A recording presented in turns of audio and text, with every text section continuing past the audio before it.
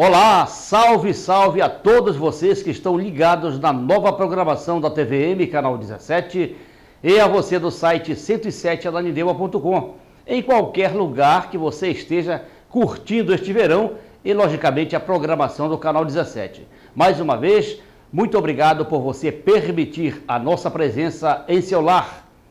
Organização desenvolve trabalho em prol da sociedade.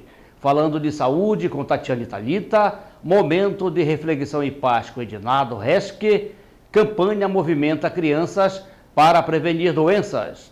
A Nanideua comemora mais um sírio de Nossa Senhora das Graças. Essas e outras notícias diretamente do site que está aparecendo, www.107ananindeua.com.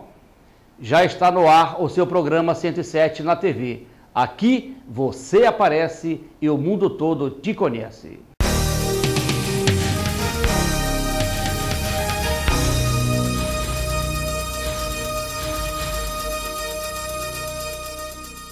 A Federação de Bandeirantes do Brasil, FBB, é uma organização civil de âmbito nacional, sem fins lucrativos, de educação não formal, voltada ao público infanto-juvenil e em Belém desenvolve um trabalho em prol da sociedade. E nós fomos lá conhecer de perto as atividades dos Bandeirantes do Pará. Vamos conferir.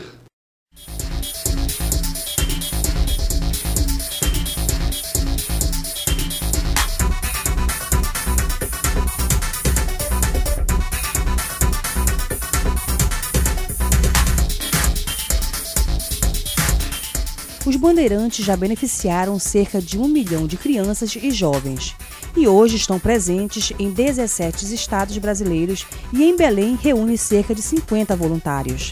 É fazendo a diferença e preparando para educar que há 93 anos os bandeirantes realizam resgate de crianças e jovens em situação de risco na nossa sociedade.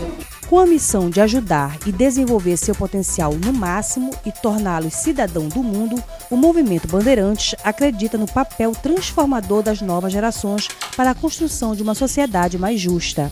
Nosso lema é, é ajudar crianças e jovens a desenvolver seu potencial máximo como responsáveis cidadãos do mundo, que é o que todos os jovens devem ser, né? porque são o futuro.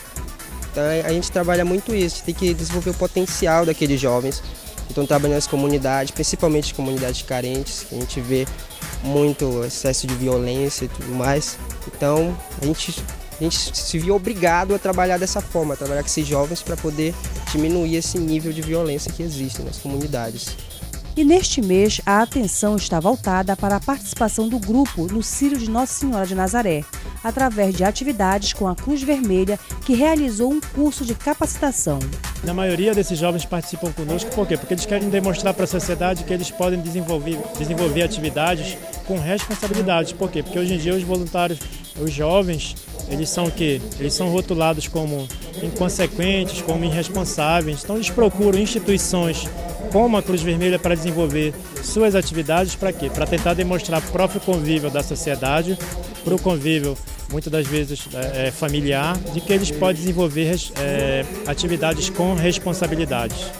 Desde a criação do movimento foi observado a necessidade do cultivo de valores e este trabalho é realizado entre os integrantes. Esse bandeirante, a partir do treinamento, não significa que ele vai estar totalmente preparado. Nós faremos outros treinamentos, assim, de acordo com a, com a necessidade do coordenador. O movimento bandeirante possui um método próprio de educação que contribui com a formação dos jovens. Quando eu comecei a frequentar realmente o movimento bandeirante, é, eu achei muito interessante toda aquela interação de jovens, crianças, tudo. Isso foi muito gratificante para mim, tanto que eu estou dentro do movimento já há cinco anos e pretendo continuar. É muito, muito, muito interessante. Eu gostei muito. O que isso mudou na sua vida? Primeiramente minha forma de pensar sobre vários assuntos, questões ambientais, é, questões sociais, de convívio em família, entre amigos mesmo. Os integrantes desenvolvem, através dos seus trabalhos e da convivência em equipe, o aprender fazendo, conquistando assim a confiança da sociedade.